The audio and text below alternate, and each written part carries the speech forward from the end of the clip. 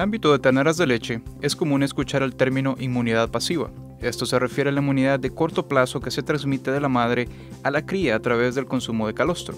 Las terneras nacen con un sistema inmune inmaduro. Esto quiere decir que prácticamente su propio sistema inmune no está activo y depende enteramente del calostro de la madre. El calostro contiene anticuerpos, también conocidos como inmunoglobulinas. Estas son proteínas que se encargan de dar soporte al sistema inmune de la becerra. El calostro también tiene alto contenido de grasa, proteína y otros nutrientes que proveen de energía a la cría. Durante la gestación no hay transporte de anticuerpos a través de la placenta. Por esta razón, la inmunidad pasiva es importantísima. El intestino delgado de un becerro es permeable, o se dice que está abierto y puede absorber las inmunoglobulinas del calostro. Sin embargo, la tasa de absorción a través de la pared del intestino hacia el torrente sanguíneo comienza a bajar dentro de las primeras 4 horas de vida. Por esta razón es importante que las crías recién nacidas reciban calostro tan pronto como sea posible.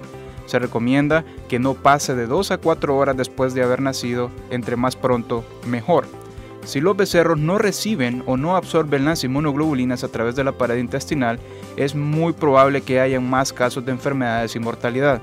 A esto se le conoce como falla de transferencia pasiva de inmunidad. Terneras con falla de transferencia pasiva de inmunidad se relacionan con tasas de crecimiento lentas y con mayores problemas de salud. Esto representa una pérdida económica a largo plazo.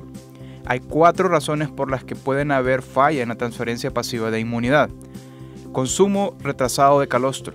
Consumo de una cantidad de calostro insuficiente. Calostro de baja calidad. Baja absorción de los anticuerpos del calostro. Estas razones se discutirán con más detalle en los videos de manejo de calostro.